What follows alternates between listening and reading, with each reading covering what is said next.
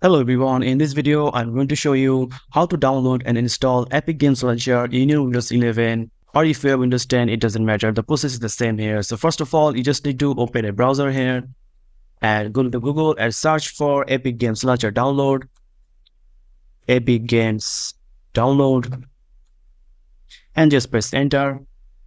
And then this will show you the first link here which is the Epic Games store here. So just download the Epic Games launcher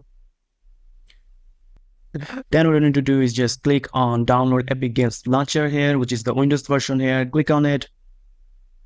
And as you can see, it will start to download here, which is only 176 MB. So make sure you have a better internet connection to download it. So after downloading the Epic installer here, you just need to go to the folder and double click the installer file here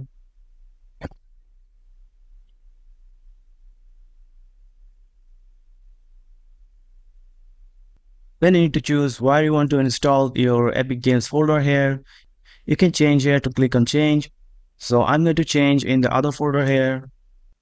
So I'm just going to create a new folder for to install this folder here. So just click new folder and click OK.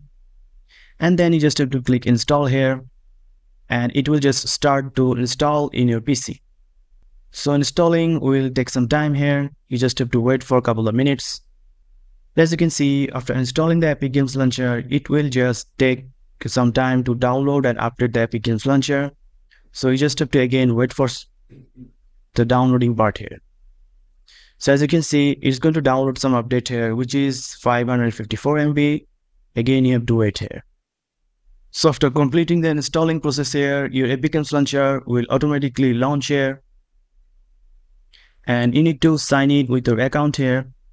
So after logging your account, your Epic Games Launcher is now ready to go. So now you can download and play view. Now you can download and install any game from your library or store here.